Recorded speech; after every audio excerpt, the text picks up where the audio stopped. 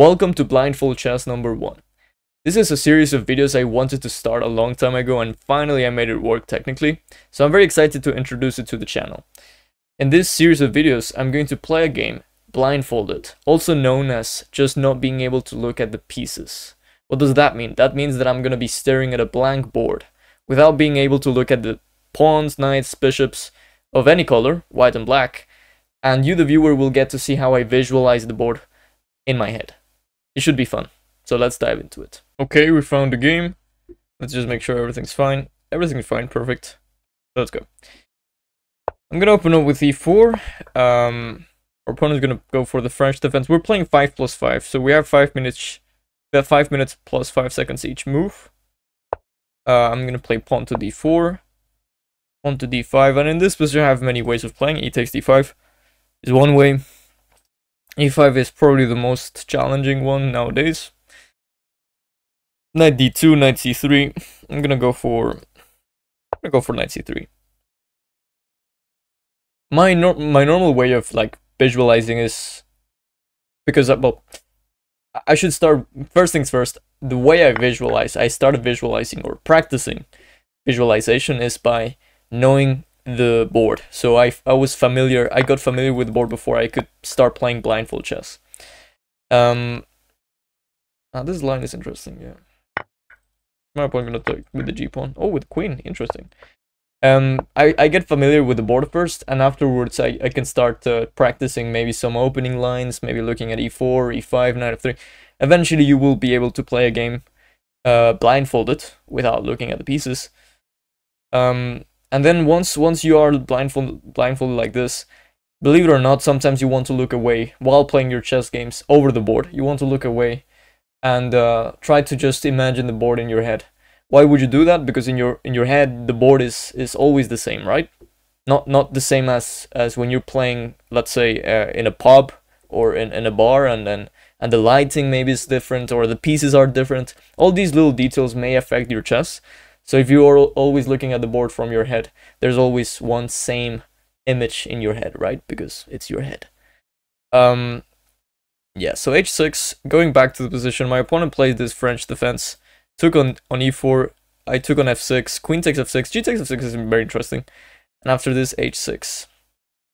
Interesting, so I'm, I'm planning to, I mean, I can play just normal with c3, but this is, I've seen this being played by Abdusattorov, I think. Or was it Kramnik? I think it was Abdusattorov. Does g3 bishop g2 make sense here? I don't think so. I think I think I want to generally just go for normal normal play with bishop d3. At least that's my first instinct. So I'm gonna go bishop d3. Bishop b4, c3, knight c6, c3, c5, probably c3 as well. There's also castle, c takes d4, knight takes d4 with the trick of bishop b5. I think I'll do that, not because of the trick, but because I want to castle either way. If c takes d4, knight takes d4, queen takes d4, bishop b5, of course, is there.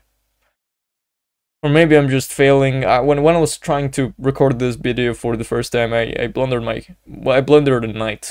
Uh, so... It would be... it would be... It wouldn't be out of the question. Um, but either way, I have good piece play in the center. Bishop d7 by my opponent, of course. Now this is a real threat, so I have bishop e3 maybe. Um, knight f3 back is not not crazy. c3 supporting the knight is a good idea as well. I think I'll go for knight f3 because after knight c6, I don't want to trade the pieces on c6. I feel like that's that's benefiting. Um, that's beneficial, sorry, uh, for black. I can play knight f3 against knight c6 maybe queen e2. And in these structures, I think that white is just hoping for a slight advantage. Maybe c3, bishop c2, maybe rook d1, bishop e3.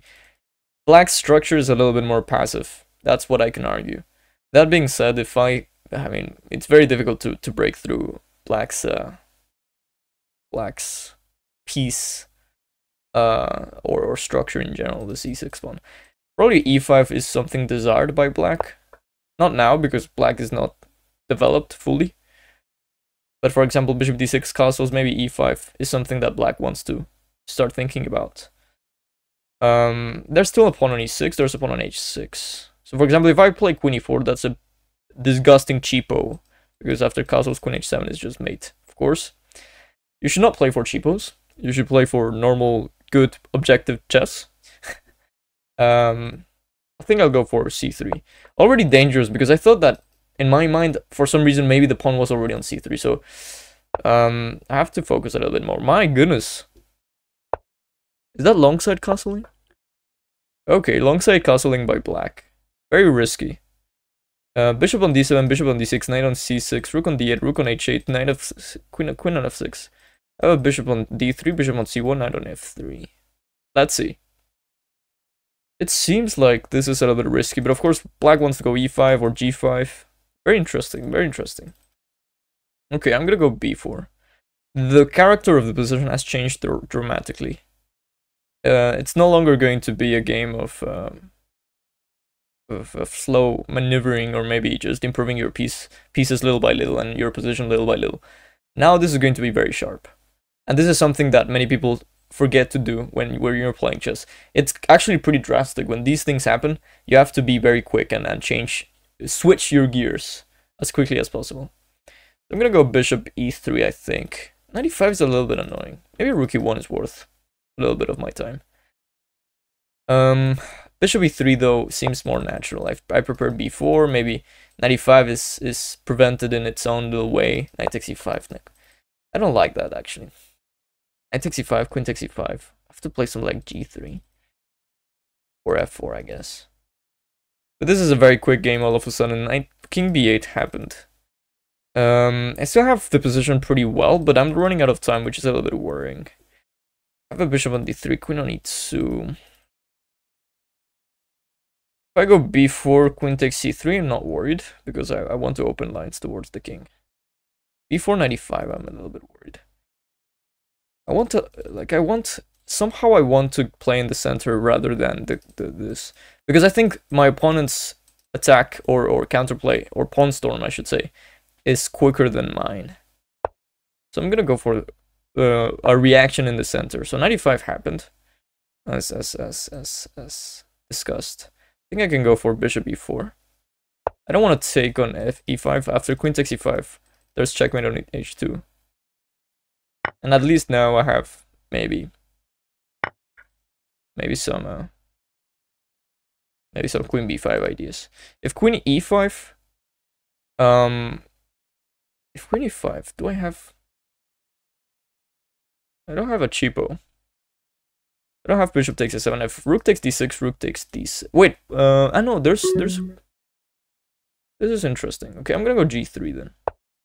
My bishop is on f3, I prevent the mate on h2, and at the same time, I kind of get ready for a little cheapo. Um... Okay, I'll go for a4. Why not? Sorry, b4. It's getting a little bit... Getting a little bit uh, tactical. Huh. Okay, this is gonna be... This is gonna be very tactical. I'm gonna sacrifice the exchange. Queen takes d6, rook d1. I'm running out of time, so I have to do something dramatic drastic, I should say. This bishop d4.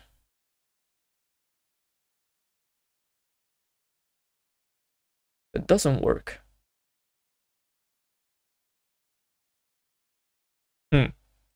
I'm trying. I'm trying to focus here. What what what, what was that? A queen? Yeah, that was a queen.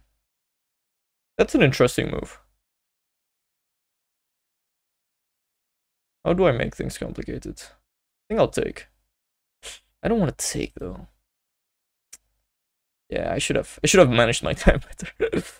a classic. A classic for the channel. Okay, I'll I'll take. I'll take it. I'm gonna play rook d6. There's a bishop on d7, right? So, uh, I'm starting to lose the position a little bit. A little bit. I have a pawn on a2.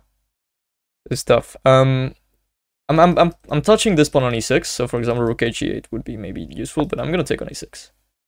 Okay, I'm gonna take on... E ah, what a... Ah, no, sorry, my bishop is on f3, so it's guarding. Ah, interesting. Yeah, yeah. That's a good move. Okay, let me play bishop e2. Oh no, my bishop. A little bit of a cheapo that one, but I don't see anything else. If bishop takes e2, bishop f4 check. Hope this is a cheapo actually. Maybe this is not working. Okay, it is working. Should I give a check on e7? That's the question. I don't think so. Let's take rook h8 and then time to cry. Hmm. Can I hold this? That's the question. Probably not. King b6, a4. Okay, that, a4 either way. Maybe I can hold this. Then I'm, I'm worried about a5. Although bishop a3 is there. Interesting game. Of course I could have played much better before. But, uh... But, uh, life is difficult. Bishop e3. d4, b5 is there. Um... Uh, I'm I'm focusing, guys. I'm focusing. Give me give me a second. Okay, king e2 now. King d5, I'm getting king d3.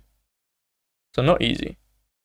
And actually, believe it or not, like I, I'm I'm just down a a, a, a one point. So sure, I'm down the exchange, and maybe black black can pose trouble here. Maybe even even more so with this h4 move, but in in a very well prepared way, I think.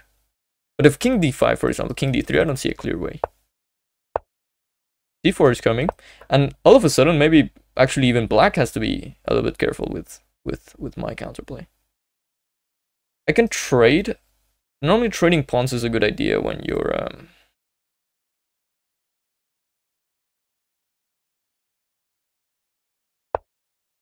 trading pawns is a good idea when you're um, when you're down material. But now this rook has to be. For example, I think my opponent wanted me to play bishop c5. To which actually maybe I'm winning. Nah, there's no way. Okay, king, rook h7, c4. Let's go b5. And very important, I think. Take with the a pawn. So we can create more nastiness. Let me go here. I want to go king d4 and bishop f4. King e5. Then um, I'm also pretty happy. Okay, let me take on h with the h pawn. Sorry. Yeah, this is this is being misplayed by my by my opponent. I'm gonna play bishop f4. Bishop f4, bishop e5. Yeah, so c5 there also very attractive. Check, king d5. If king e6, well that one, that one, that one I come here, right? Rook d7, king e6. I'm invading. Have on f2 defending my bishop. Okay, that. I suspect this is getting into draw drawish territory. But of course I don't want to draw. By now I just, yeah. Check, c6. Actually, what if I go king d6? Rook d4, king e6. No, it's not, not easy. Sorry if I'm not, um. Trying to visualize as, as well as, as, as possible. Okay, that one, oof, that one smells a little bit suspicious. b6? I can take as well, right? I can play c6 first. Check. King here. I can give a check. Ah, no, I can't. Uh, let's let's give this. Let's take. If rook d4, king e6. That one I didn't see, but I have bishop e3, right?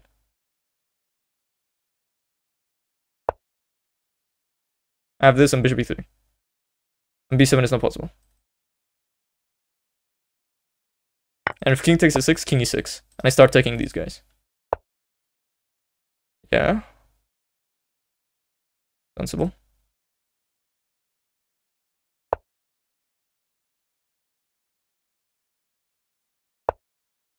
Ah, that's a good move. Okay, let's take it. Let's take this. The only one that can play for a win is me. As long as I keep my bishop.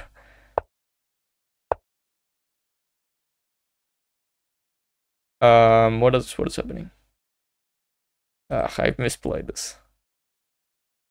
Okay, let's go here. That's attacking the rook, right? Yeah, it is. Okay, king f5 is desired.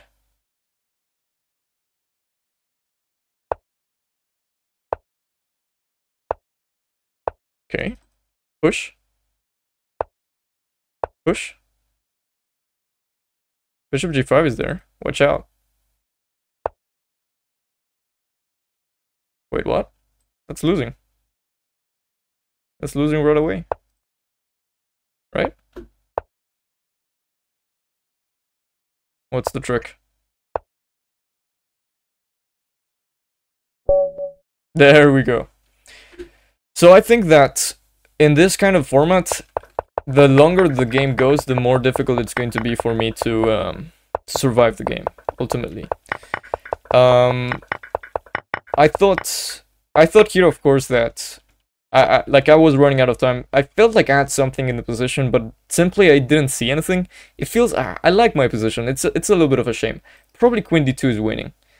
Um, but yeah, uh, I went for this. Think it's important to find this bishop e2 tactic. And believe it or not, I, maybe I, I wouldn't have found that tactic if I was looking at the pieces because, as I said, the board in my mind is just everywhere. I can I feel like I can I can see everything rather than looking at a physical board in real life and uh, um, maybe maybe maybe I can't uh, look at the whole board in, in, in a physical board. Um, hope that was instructive. Uh, let me know what you think. Let me know if you think I should play maybe slower time controls, faster time controls. I'm, I'm very interested and curious to see what your opinion on this is. is. Hope it was useful and as always, have a nice day.